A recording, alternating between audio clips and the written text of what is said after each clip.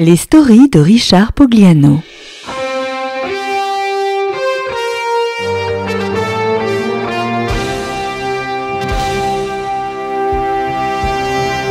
Nous sommes à Nice en 1543. En ce milieu du XVIe siècle, la guerre faisait rage.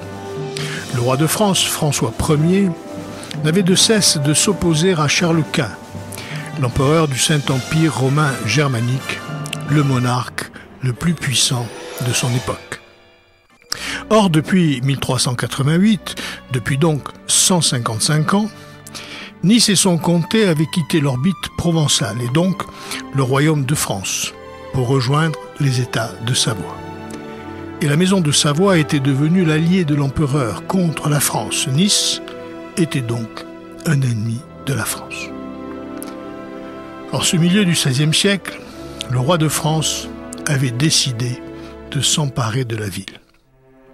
Pourtant, sous l'autorité du pape Paul III, une trêve de dix ans avait été signée entre François Ier et Charles Quint, à Nice justement, le 18 juin 1538. Elle ne durera que cinq ans, car toujours soucieux d'avoir la route du littoral libre vers l'Italie, François Ier, allié aux Turcs de Soliman le Magnifique, décide de rompre la trêve et d'en finir avec Nice, dont la garnison ne comprenait que 3000 Savoyards et Piémontais. Le mardi 6 août 1543, Nice est assiégée par les 5000 hommes de l'armée de terre française et les 300 navires turcs commandés par le cruel Barberousse. Fort de 14 000 hommes, le 7 août au matin, les Turcs attaquent les quartiers de Lympia et Riquier.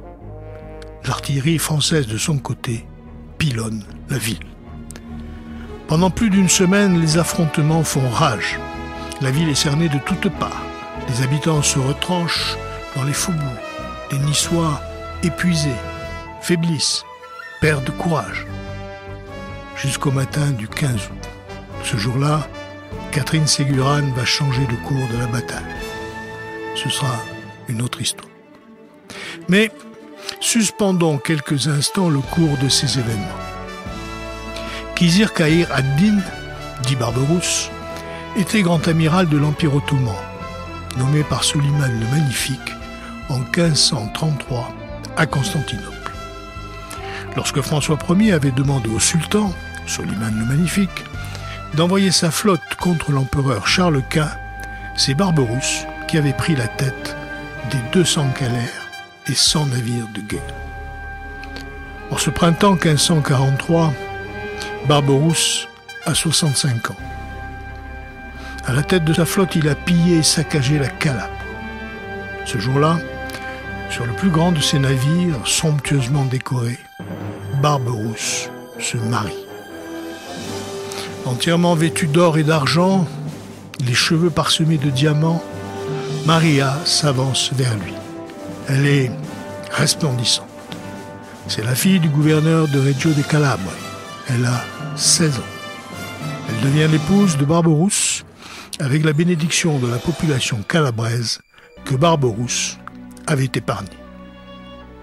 Les époux vont passer leur voyage de noces à Toulon, grâce au soutien de François Ier qui avait donné des instructions précises à ses lieutenants de Provence. Loger le sieur Barberousse, envoyé au roi par le grand Turc, avec son armée turque et ses grands seigneurs, au nombre de 30 000 combattants pour l'hiver dans ces villes et ports de Toulon. Mais, au bout de quelques semaines, la jeune épouse en mal d'émotion voulut connaître l'odeur de la poudre et l'adrénaline des combats.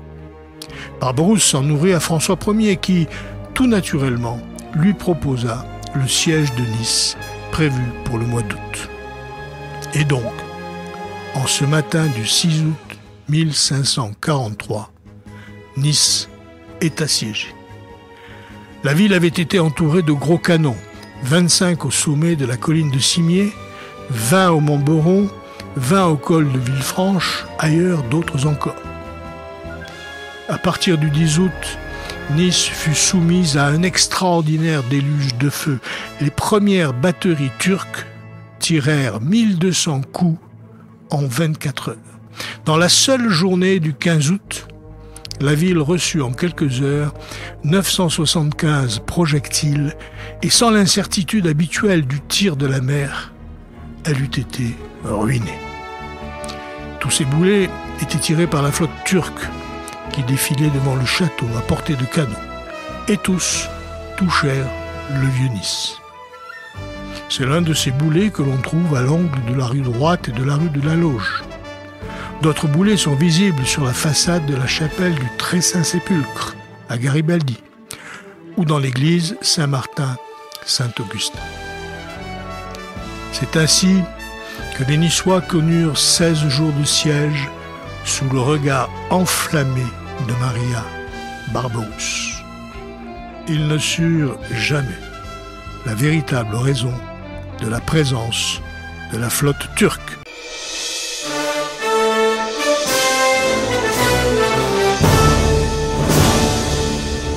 C'était les stories de Richard Pogliano.